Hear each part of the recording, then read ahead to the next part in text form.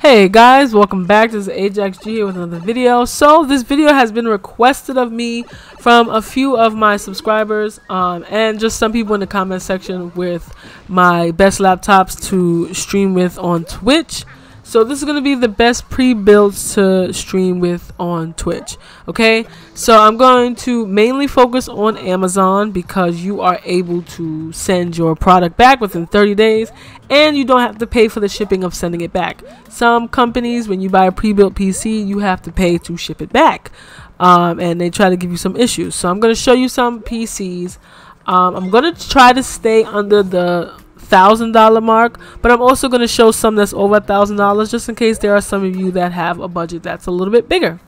All right so let's get into some amazon Alright, so for our first PC, we have a Periphio gaming desktop, okay? It is an Intel quad-core i7 3.3 gigahertz. Now, at this price for 620 bucks, I believe that processor is either a 7th gen or 8th gen. I know it is not a 9th gen for sure. In the description, it doesn't tell you, so I would say send a message to ask what it is. Now, it has 16 gigabytes of RAM, and that is that DDR4 so that's the newest technology of RAM so that is perfect.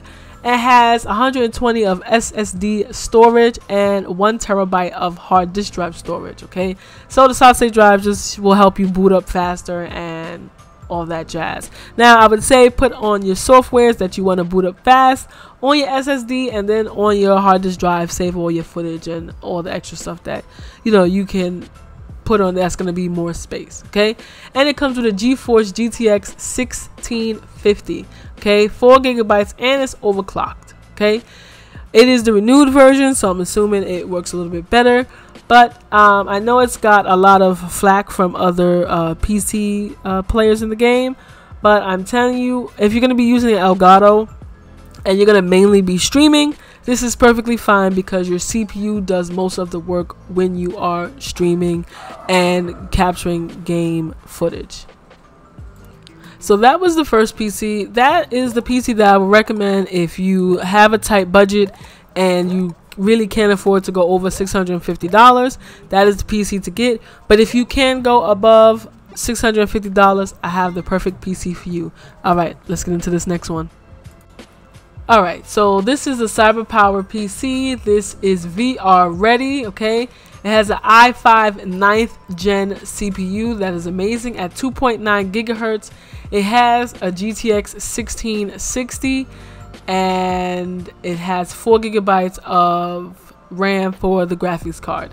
Now, the one thing I don't like, as you see the mustard color cables and the way that CPU fan looks, it's I, I just have a thing about how the PC looks inside, right? Okay, so it has 8 gigabytes of RAM, 120 SSD, one terabyte of hard disk drive and it's Wi-Fi ready. So that means you can use your PC over Wi-Fi. You don't have to have it plugged in. But if you're streaming, it is always recommended. It's more like a staple, okay, that you have your PC plugged in, okay. This is one to go. I know you notice it has 8 gigabytes instead of 16 gigabytes of RAM. That's because of the CPU that takes up most of the cost. So that is why it gives you 8 gigabytes of RAM for $800 versus the $600 one that gave you 16 gigabytes of RAM, okay? But I would go with this one because it is upgradable so you can add another stick of RAM.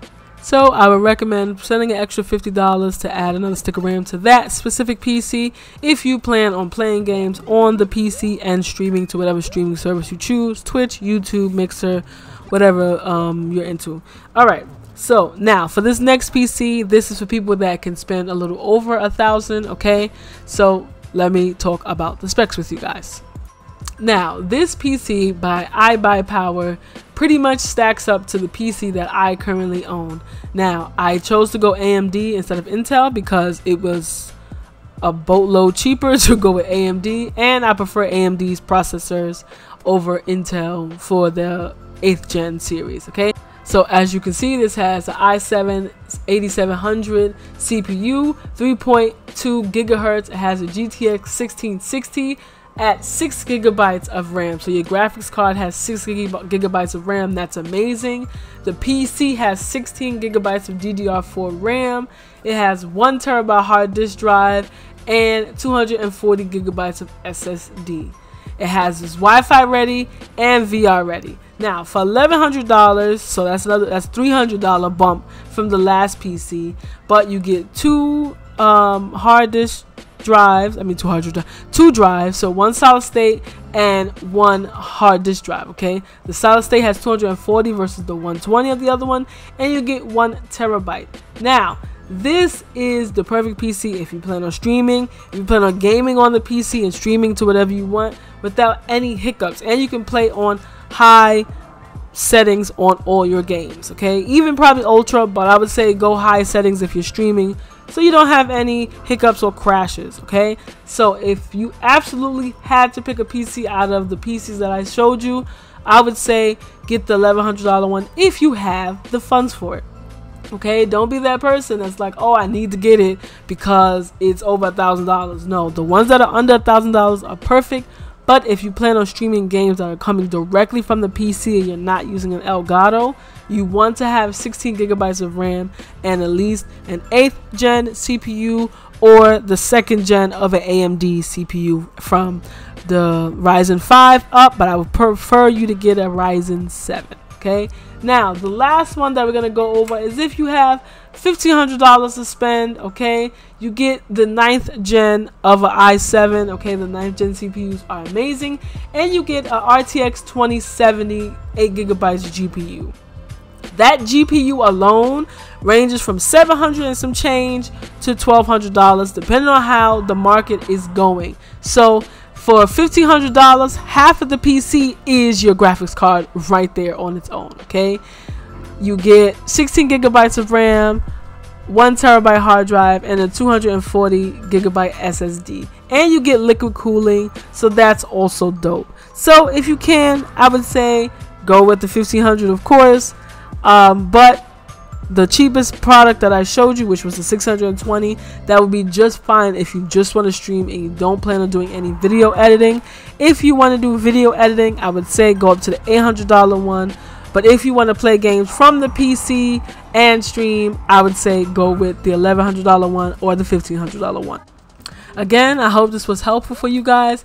If you have any questions, please leave it in the comment section down below.